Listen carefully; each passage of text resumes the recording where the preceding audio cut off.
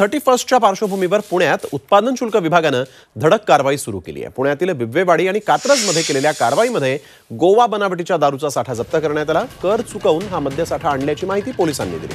या दारूची किंमत पाच लाखांच्या घरात आहे आणि या प्रकरणी तीन आरोपींना अटक करण्यात आली असून दोन संशयित फरार आहेत. थर्टी फर्स्ट आणि नववर्ष स्वागताच्या पार्श्वभूमीवर पुण्यामध्ये सतरा विशेष पथकं तैनात करण्यात आली आणि त्याअंतर्गत ही धडक कारवाई सुरू आहे.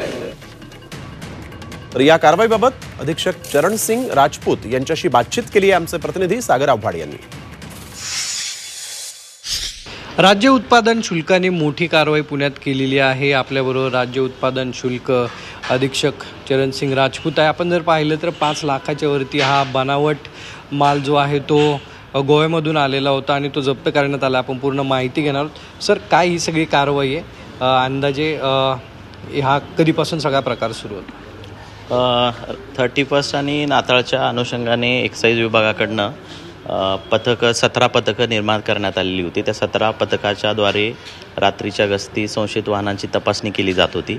त्यामध्येच एक प्रकार आढळून आला की बिबेवाडी भागामध्ये एक पंधरा बॉक्स गोवा लिकर बनावटीचे असल्याची आमचे याच विभागाचे निरीक्षक कटकम आणि प्रशांत दळवी दुय्यम निरीक्षक यांना माहिती मिळाली.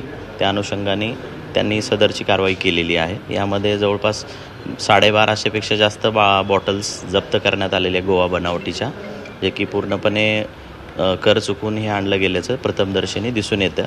यामध्ये तीन आरोपी अटक करण्यात आलेले आहेत. दोन संशयित आहेत ते फरार आहेत आणि यापुढचा तपाससुद्धा सुरू आहे. पोलीस अधीक्षक होते.